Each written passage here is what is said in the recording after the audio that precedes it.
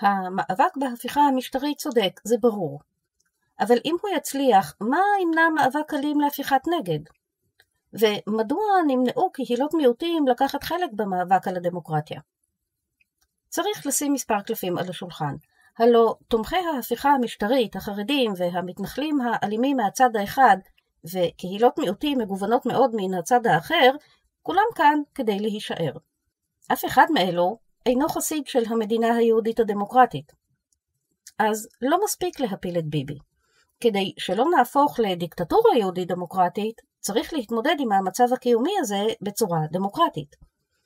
בסדרת מפגשי ההודו של מכון אור, אנו הולכים צעד אחר צעד בעקבות ההיגיון של מחשבת הדמוקרטיה, ומגלים שהיא מציעה פתרונות של שלום ישימים מאוד, אבל יש להם כמובן מחירים שאנו נמנעים מלדבר עליהם, ומשלמים בדם והתפרקות. יש גם מפגש לדוגמה.